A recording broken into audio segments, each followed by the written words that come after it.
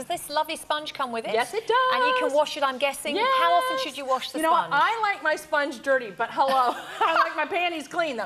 Hey girls, what? Glad to hear it. Glad to hear it. We're gonna drop try. I don't have to prove it. Joy, Emma, now you're like me. We know when there's more foundation in a sponge, it seems to go on better. Yeah, yeah. How often do you wash your sponges? Because you can't go by me. I Medium wash, sold I do by the mine way. about once a month. Once a month, Once you a wash month. your and then you set it on the side of the triangle to dry out. Yeah, on the radiator. On the, On the yeah. radiator. Uh, uh, the- oh, she does on Yeah, the on the radiator. radiator. Does it shrink up? No.